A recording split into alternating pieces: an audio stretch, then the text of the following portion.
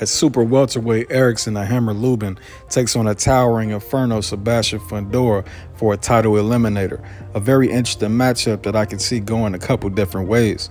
Both Lubin and Fundora are southpaws, so it's a close stance fight. However, searching through Lubin's career, I see no southpaws on his resume, whilst Fundora has only fought one southpaw. I tried to at least find a close stance sparring match for Lubin, and all I can come up with was Lubin sparring Montana Love, who's a good fighter, but he's 5 foot 8 and campaigns two weight classes below Lubin and Fundora. For those that don't know, the main problem isn't the weight, it's the fact that Fundora is almost a whole foot taller with almost a whole foot longer wingspan than Montana Love, so that's not going to cut it. Therefore, this is going to be a completely one-sided film study exploring the six foot five and a half inch, 80 inch wingspan Sebastian Fundora in the closed stance, the towering inferno. Let's get into it. Fundora is a front foot pressure fighter. The giant super welterweight is a problem stalking his opponents utilizing his reach and length, generating power in his long jabs and crosses. Most opponents, including Lubin, are at a vast disadvantage from outside range from the outset of the fight. Put simply, he can hit you when you can't hit him, which always makes him a dangerous threat in a tough fight. When he closes range, he shows flashes of good skill, and he also isn't opposed to going blow for blow on the inside.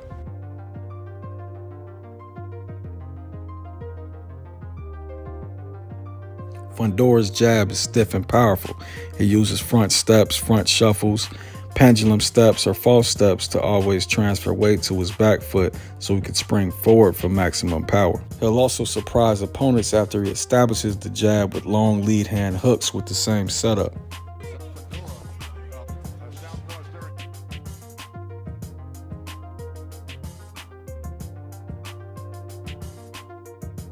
While he's cutting off the ring, Fundora's reach and length is a problem. Fundora's back foot can be center ring and still be a half step away from corner traps. Opponents have to adjust to Fundora being able to hit them in spots that more normal sized fighters can't reach. If they aren't extra vigilant while circling out, Fundora can clip them with jabs, hooks, and crosses.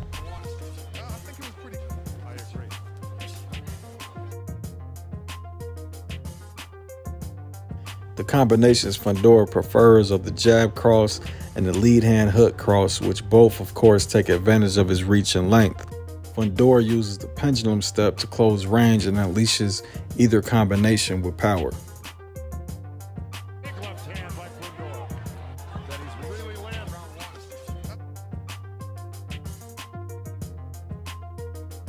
Fundora has shown he is capable of a myriad of slip counters but nine times out of 10, Fundora counters jabs with jabs or hooks.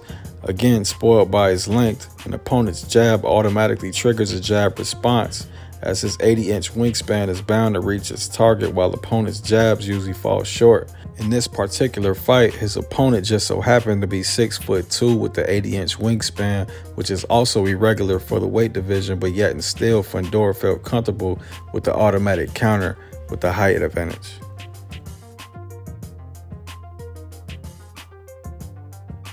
Fundora is also good at shortening up his punches to attack inside. Inside backhand uppercuts are a staple to his game along with hooks that can vary the trajectory to easily loop behind high guards.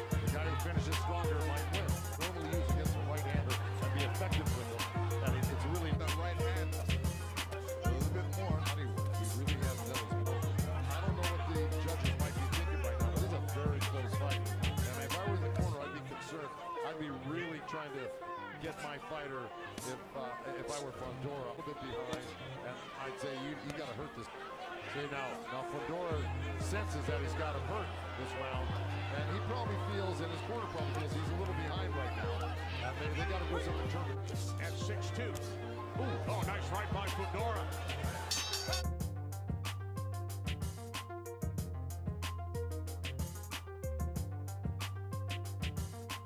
Once Fundora gets in range, he virtually always initiates offense with a jab or a long hook or sweeping jab.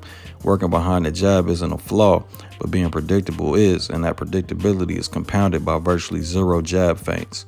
When Fundora jabs to the body, it's the exact same front step shuffle with no feint, making it easier to time for a counter or to defend.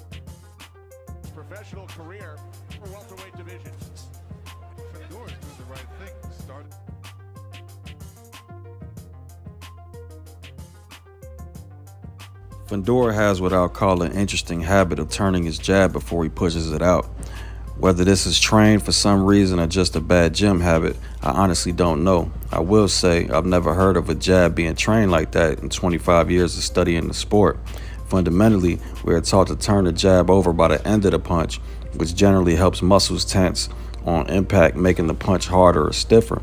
But whether trained or bad habit, it can be used by the opponent as a tell that the jab is imminent.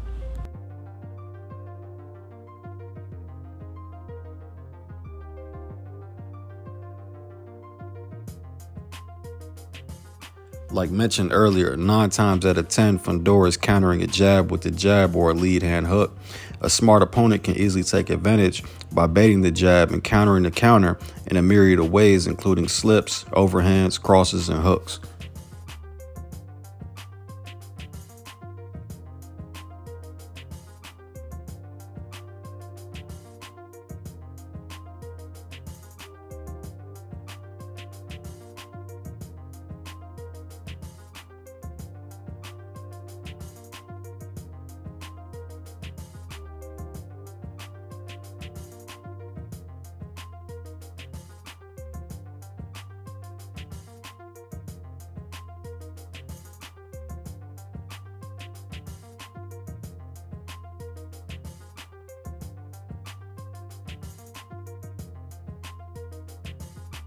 Fundora also commits the mistake of reaching to catch the jab away from his chin with the backhand while in range, easily recognized and taken advantage of by high level fighters who would just turn the jab into a hook and make Fundora pay for it.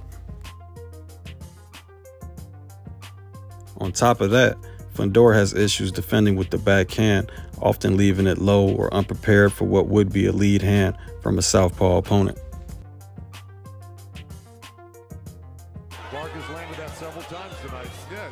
Because Fundora's dropping that right hand when he jabs. He's, he needs to bring it right back to his face so he doesn't leave himself open. And see, that's the thing. When you fight a southpaw, and you are a southpaw, the power hand is in the left hand that will come. It's completely opposite. You don't have to worry about that side as much.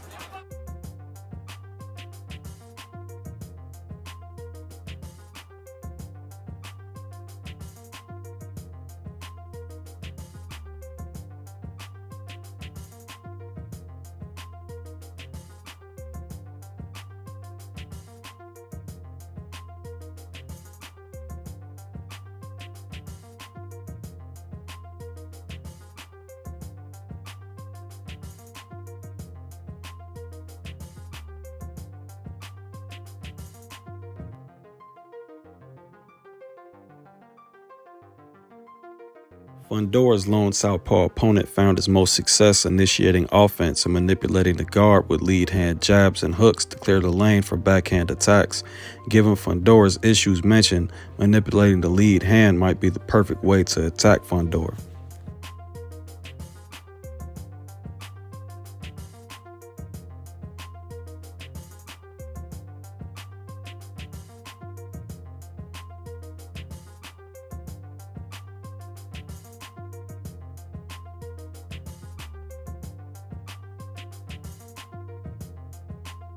This being Fundora's first open stance fight, I'm not sure he worked out what to do with his lead hand in mid-range to inside exchanges.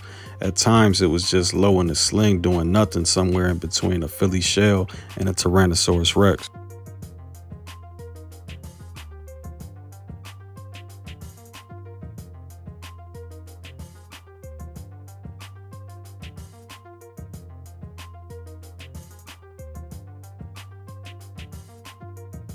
Sure what to do with my hand. And finally, at times you could force Fundora to shell up in the high guard. Subscribers say it with me. There are many holes around the high guard.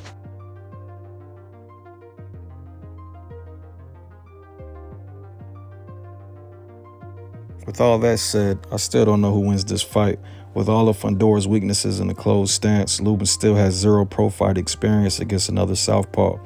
He will have to rely on his experience sparring fellow Southpaws, and hopefully his team were able to get him adequate sparring for his training camp.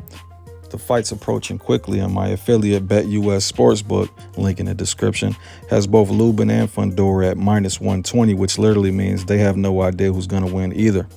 When the fight props pop up, I'll put a small wager up on either fighter depending on the odds. I'll let y'all know in the community page.